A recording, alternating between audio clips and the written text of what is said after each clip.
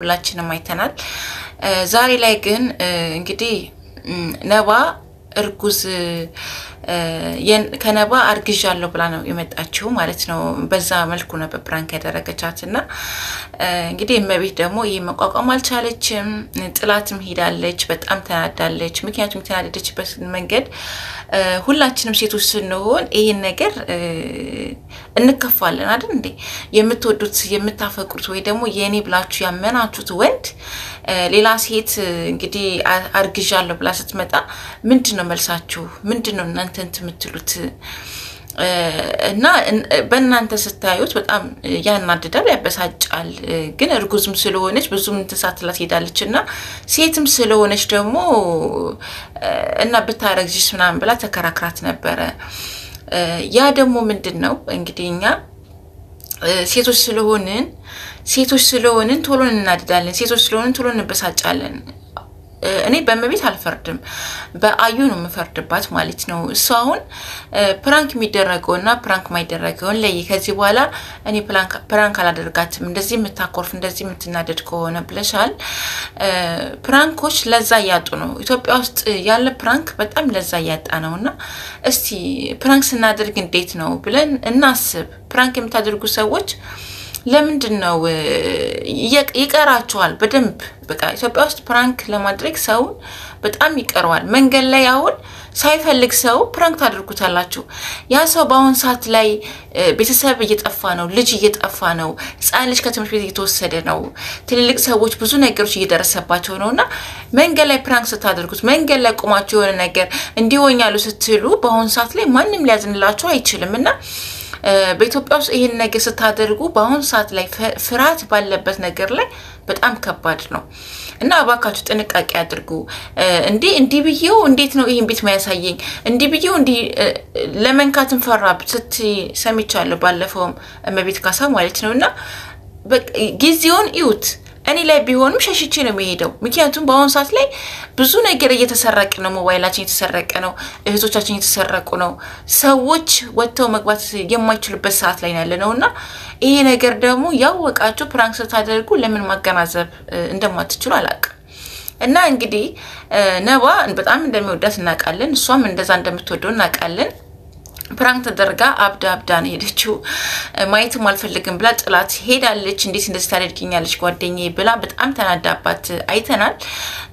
እውነቷን ነው የምለው እዚህ ጋር እንግዲህ እውነቷን ነው። ይህ ማድረጓ መበሳጨቷ፣ መናደዷም እውነቷ ነው። ምክንያቱም ማናችንም ብንሆን የምንወደው የምናፈቅረው ሰው አይ ለ YouTube ብዬ እንደዚህ እንደዚህ እስካሁን ድረስ አብራችሁ ስትሰሩ የነበረው YouTube እስኪያደግ ድረስ ነው እና ከዚህ በኋላ አብረሽ መቀጠል አትችም። ስለዚህ እኔ የአምስት ዓመት ፍቅረኛው ነኝ ብላ እንደ ድንገት መታ እንደዚህ አይነት ነገር ስትላት ምንድን ነው መልስ የሚጠበቀው ከሷ? ምንድን ነበር የምትላት? እና ይሄ ደግሞ ትንሽ የሚከብድ ነገር ነው። ስለዚህ እኔ አሁንም ቢሆን በመቤት የምፈርደው ነገር የለም። አዩ ግን ከዚህ ተምረሻል ብዬ አስባለሁ።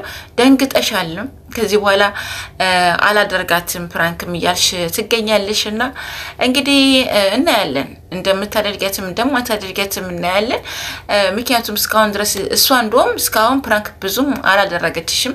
እስካሁን ምንም እንደውም አዋሳ ላይ በዛን ሰዓት ላይ ምግብ ሳትከፊ ሄደሻል እና ሌባ ተብላ እንኳን በነበረ ሰዓት ላይ ራሱ ያን ሰዓት ላይ ደንግጣለች። ከድንች ያለፈ ቢያንስ የሁለት ሺህ ምግብ አልመገብም ብላ ነበር እና እኛም ሁላችንም እናውቃት እመቤት እንግዲህ ድንች በጣም እንደምትወድ እናውቃለን።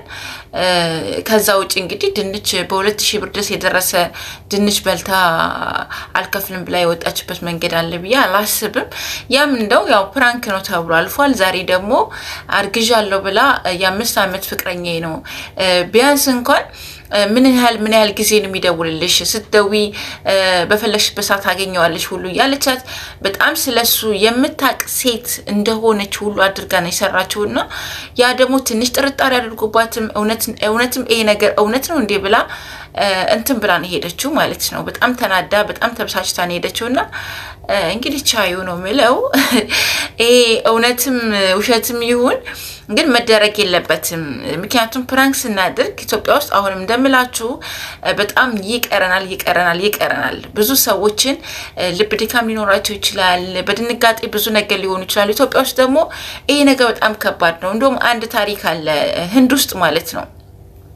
ምንድን ነው ቶሎና ተብሎ ያ ሰው ደንግጦ ይሄዳል። በሳይክል እየሄደ እያለ ነው እንግዲህ መኪና እንትን አክሲደንት ተደርጎ መንገድ ላይ የሞተው ማለት ነው። እናት እንዲ እንዲ እንዲ ሆናለች ተብሎ በፕራንክ የተነሳ ማለት ነው። እና በእኛ ምንድን ነው የምንለው እንግዲህ ይሄ ሚያዚያ ሲመጣ የውሸት ቀኖች ምናምን የሚባል አይደለ አይደል የሚባለው እንደዛ የውሸት ቀኖች ተብሎ በሚታሰብበት ሰዓት ላይ ነው እንደዛ ሲለው እውነት መስሎት እሱ ግን በሄደበት ሰዓት ላይ በተምር ተቻኩሎ ቤተሰቡን እናቱን ለማየት በዛ ሰዓት ላይ ሲሮጥ ነው እንግዲህ ሳይክል የነዳ መኪና እንግዲህ ውስጥ ገብቶ የሞተው ማለት ነው። ሰዎች በምን መልኩ ደንግጠን በምንሄድበት ሰዓት ላይ ምን እንደሚፈጠር ምን እንደምናደርግ ጠንቅቀን ይሄን ነገር ልናውቅ ይገባል። ሰዎችን አደጋ ላይ ልንጥል እንችላለን። ሰዎችን በምን መልኩ ነው እንደዚህ አይነት prank የምናደርጋቸው? እንዴት ነው የሚሆነው? ያ ሰውን treat አድርገ ነው ይሆን prank የምናደርገው? አይደለም። ገብቷቸዋል። ስለዚህ ትንሽ ይከብዳል። በንዴት ሰዓት ላይ ሲሄዱ ወይ ደግሞ የደም ግፊት ሊኖራት ይችላል፣ ስኳር ሊኖር ይችላል፣ ብዙ ብዙ ነገር ሊኖርባቸው ይችላል እና ሰዎች በማያስቡት መንገድ ኢትዮጵያ ውስጥ እንግዲህ መቋቋም በማይቻልበት መንገድ ላይ ቶሎ ድንጉጦች ነን። ቶሎ ነገሮችን ቶሎ እውነት መስሎን ስለምናስበው ያ ነገር እንግዲህ እውነት መስሎ ስለሚታሰብ በድንጋጤ ሰው ምን እንደሚሆን አይታወቅምና prank ስናደርግ በስሱ ቢሆን ጥሩ ነው። prank ስናደርግ ምንድን ነው የሚፈጠርብን ምንድን ነው የሚሆነው ይሄ ነገር ብለን ልናስተውል ይገባል ባይ ምክንያቱም አሁንም በጣም ይቅርታ ልታደርግላት ይገባል። እመቤ ደግሞ ከዚህ የበለጠ prank አድርገሻት ዋጓን ሰጥሽ የምታለቅስበት አድርጋት። እሱ አሁን ቅድም አዩ ስትናገር የነበረው እኔ መኪና ቁሳቁስ ስለሆነ prank አድርጋታል። normal normal ስለሆነ ነው። ይሄ ግን በትዳር ወይ ደግሞ ባሌ ብላ ባሰበችው ፍቅሬ ብላ ባሰበችው ሰው ላይ እንደዚህ አይነት ነገር ያደረግሽው እና ይሄ ደግሞ ትንሽ ደብሯታል። ስለዚህ አሁንም ቢሆን እንትን ማለት አለብሽ ብዬ አስባለሁ። ይሄን ነው ማለት የምችለው። ለማንኛውም እንግዲህ እውነት ትንሽ ያሳዝናል አንዳንዴ ቀላል መስሎ የምናየው ነገር ከሰዎች ጋር ልንቆራረጥበት እንችላለን። ፕራንኮች ማለት ነው። እንዴት እንደዚህ ያደርገኛል? እንዴት እንደዚህ ታደርገኛለች? ምን አስባ ነው? ገባችሁ? እንደምወደው እያወቀች ወይ ደግሞ አሁን ጥርጣሬ ውስጥ ገብታ ልትጣላም ትችላለች። እንዴት ይሄን ነገር ከአንተ ጋር ግንኙነት ነበራት ወይ? እንዴት ይሄ ነገር ስለአንተ ያለው ነገር እንዴት ልታቅቻለች? ገባ?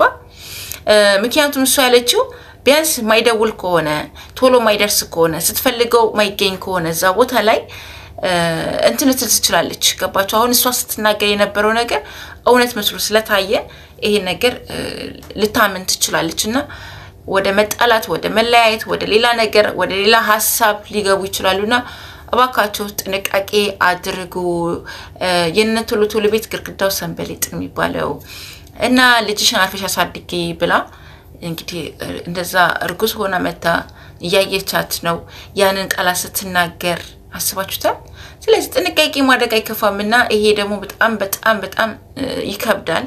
እባካችሁን እባካችሁን እንዳትቀያየሙ፣ እስከ መጨረሻውም እንዳትለያዩ፣ በፍቅር ስሩ። በአንድነት እንደዚህ ግሩፕነቱ ደስ ይላል። በፍቅር ስሩ፣ በመነጋገርም ስሩ ከፈለጋችሁ። ይህ YouTube እንግዲህ አሁን ሰዓት ላይ ብዙ ብዙ ነገሮችን ሰዎችን ወደ ሌላ ነገር እየከተታቸው ነው። እንግዲህ እግዚአብሔር ይመልሰን ነው የምንለው። አሁንም ፈጣሪ እንግዲህ ለሀገራችን ሰላም፣ አንድነት ሀገራችን ላይ ሰላም ከሆነ ሁላችንም ሰላም ነው የምንሆነው እና ሁላችንም ከፍቶናል። ምክንያቱም ሀገራችን ሰላም አይደለችም። እንደዚህ እኛ ውጭ ስለሆንን ያለው ነገር ላናውቅ እንችላለን ያው የሚወራው ብቻ ነው እየሰማን ያለ ነው እና እዛ ላይ ያሉት እንደው ተመስገን ነው። ግን ብዙ ነገር አለና እግዚአብሔር ሀገራችን ወደ ቀድሞ እንዲመልስልን ተግተን ሁላችንም እንጸልይላለሁኝ። ለሀገራችን ሰላም፣ ፍቅር፣ አንድነት፣ መተሳሰብን፣ መተዛዘንን የድሮ ማንነታችንን ይመልስ እያልኩኝ የዛሬ ቪዲዮ ላይ አበቃለሁኝ። መልካም ቆይታ